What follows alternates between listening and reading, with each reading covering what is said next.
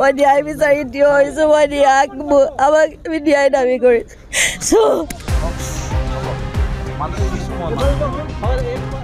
ন্যায় নাপালে অংকিতাই। দহ মাহ বনবাসত থাকিও ন্যায় নাপালে অংকিতাই। মই মোৰ ছেল্ফ ৰেচপেক্ট আৰু ডিগনিটিৰ কাৰণে মই থিয় হ'ব নালাগে নেকি? মাত মাতিব নালাগে নেকি?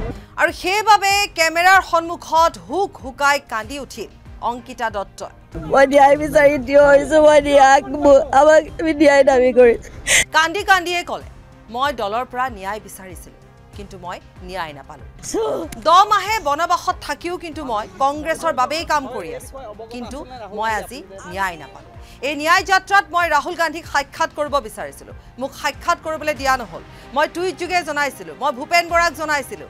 কিন্তু কোনেও মোৰ কথাত গুৰুত্ব নিদিলে। মোৰ ক'বলগীয়া একো নাই। মই ন্যায় বিচাৰি থিয় হৈছোঁ। মই ন্যায় আমাক আমি ন্যায় দাবী কৰিছোঁ ভূপেন বৰা ডাঙৰীয়া নাজানে নেকি? দেৱব্ৰত শইকীয়া ডাঙৰীয়া নাজানে নেকি? ভূপেন বৰাই আপোনাক ঘৰলৈ মাতি ন্যায় দিম বুলি মা- কৈছিলে বুলি কৈছে আপুনি নুশুনি কেছ দিলে বুলি কৈছে। কেছ দিব নাপায় নেকি মই?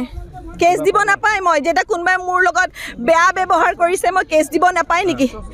মই মোৰ ছেল্ফ ৰেচপেক্ট মোৰ ডিগনিটিৰ কাৰণে এতিয়া ন্যায় দিবলৈ আহিছে। মই মোৰ ছেল্ফ ৰেচপেক্ট আৰু ডিগনিটিৰ কাৰণে মই থিয় হ'ব নালাগে নেকি? মাত মাতিব নালাগে নেকি?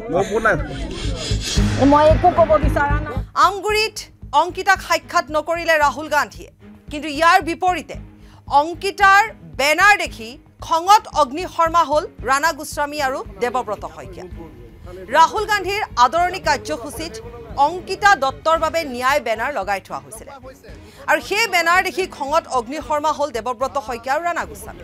তেওঁলোকে বেনাৰখন আঁতৰাবলৈ যাওঁতে আৰক্ষীয়ে বাধা প্ৰদান কৰিলে। হাই লেভেল ছিকিউৰিটি থকা এই বেনাৰখন ৰাণা গোস্বামীয়ে আঁতৰাব নোৱাৰিলে। তাৰ সলনি আঁতৰাব নোৱাৰাৰ বাবে যিহেতু আৰক্ষীয়ে বাধা প্ৰদান কৰিলে গতিকে তাৰ ওপৰতে ৰাহুল গান্ধীৰ বেনাৰ লগাই দিয়া হ'ল। আৰু লগতে সংবাদ মাধ্যমকো তেওঁলোকে ক্ষোভৰ কাৰণ জনালে।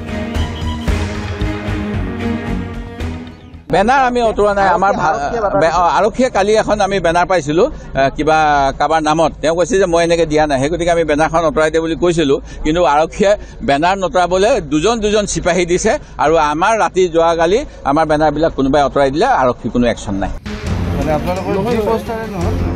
ইফালে ভূপেন বৰাই কৈছে যে অংকিতা দত্ত ৰাজনৈতিক ষড়যন্ত্ৰৰ বলি হৈছে আমি ন্যায় দিম বুলি কৈছিলোঁ। কিন্তু তেওঁ আমাৰ কথা নুশুনি মুখ্যমন্ত্ৰীৰ কথা মতে উঠা বহা কৰিলে। মুখ্যমন্ত্ৰীৰ কথা মতেই তেওঁ থানাত এজাহাৰ দাখিল কৰিলে। আৰু অংকিতাৰ প্ৰতিবাদক লৈ এনেধৰণে মন্তব্য কৰিলে ভূপেন বৰাই য'ত নেকি অংকিতা দত্তই ভূপেন বৰাক জনাইছিল যে তেওঁ ৰাহুল গান্ধীক সাক্ষাৎ কৰিব বিচাৰে কাৰণ তেওঁক ন্যায় লাগে। অংকিতা দত্তৰ প্ৰতিবাদ শ্ৰীনিবাস বিভিৰ বিৰুদ্ধে ব্যৱস্থা লোৱাৰ দাবীত অটল অংকিতা দত্ত।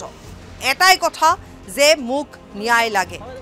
আৱেগিক হৈ পৰা অংকিতাই ক'লে ৰাহুল গান্ধীৰ পৰা তেওঁ ন্যায় বিচাৰিছিল তেওঁ আশা কৰিছিল যে ৰাহুল গান্ধীয়ে তেওঁক ন্যায় দিব। আৰু দেৱব্ৰত শইকীয়াই দেউতাক কি প্ৰতিশ্ৰুতি দিছিল? সেয়া এবাৰ মনত পেলাওক। মৃত্যু সময়ত মোৰ দেউতাক তেওঁ কি প্ৰতিশ্ৰুতি দিছিলে মোৰ লগত কি কৰিছে তাৰ মই একোৱে উত্তৰ দিব নিবিচাৰোঁ। সেইটো বিচাৰ ভগৱানে কৰিব। মোক বদনাম কৰি আছে। মোক বিজেপিৰ এজেণ্ট বুলি বদনাম কৰি আছে। আজি প্ৰতিবাদ কৰাৰ কাৰণে বিজেপিৰ এজেণ্ট হৈ গ'লো। শিৱসাগৰৰ মানুহে ৰাহুল গান্ধী আহিব বুলি গমেই নাপায়। মই এসপ্তাহ ধৰি মানুহৰ ঘৰে ঘৰে গৈ কৈছোঁ যে ৰাহুল গান্ধী আহি আছে। মই কংগ্ৰেছৰ বাবে এনেধৰণে কাম কৰি আছোঁ। কিন্তু তাৰ পিছতো মোৰ কথাৰ কোনো গুৰুত্ব দিয়া নহ'ল। আনকি মোক ন্যায় বিচৰাৰ পিছতো ন্যায় দিয়া নহ'ল। কিন্তু শ্ৰীনিবাসৰ বিৰুদ্ধে ব্যৱস্থা লোৱাৰ দাবীত মই সদায় প্ৰতিবাদ কৰিয়ে যাম ইফালে দেৱব্ৰত শইকীয়াৰ মন্তব্য যে ন্যায় লাগে যদি আদালতলৈ যাওক ৰাস্তাৰ কাষত বেনাৰ লগাই ন্যায় নিবিচাৰে। কাৰোবাৰ শ্ৰুতলিপিত অংকিতাই অঞ্জন দত্তৰ ভাৱমূৰ্তি নষ্ট কৰিছে বুলি প্ৰকাশ কৰিলে দেৱব্ৰত শইকীয়াই। অংকিতা দত্তই ন্যায় সুপ্ৰিম কোৰ্টে দিছে। সুপ্ৰিম কোৰ্টে আমাৰ দেশৰ চূড়ান্ত ন্যায়পালিকা। মই ভাবোঁ শাসক পক্ষই ব্যৱহাৰ কৰিছে। শাসক পক্ষই এজন মন্ত্ৰী আৰু এজন বিধায়কে বিশেষকৈ উৎসাহ জনাইছে বুলি মই খবৰ পাইছোঁ। তেওঁৰ দেউতাৰ লগত যিটো ৰাহুল গান্ধীৰ পৰিয়ালৰ সদ্ভাৱ আছিল সেই সদ্ভাৱ তেওঁ কিয় নষ্ট কৰিছে ৰাহুল গান্ধীৰ যাত্ৰাত বাধা দি মই নাজানো। কংগ্ৰেছে আঁতৰাই পেলাব নোৱাৰাৰ বাবে হাই লেভেল ছিকিউৰিটি দিয়া হ'ল অংকিতা দত্তৰ পোষ্টাৰত বা বেনাৰত। অংকিতা দত্তই প্ৰতিবাদ কৰি আছে তেওঁক ন্যায় লাগে।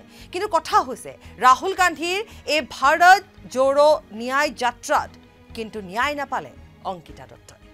এই সন্দৰ্ভত মুখ্যমন্ত্ৰীগৰাকীৰ প্ৰতিক্ৰিয়া যে অংকিতা দত্তই ন্যায় কেনেকৈ পাব?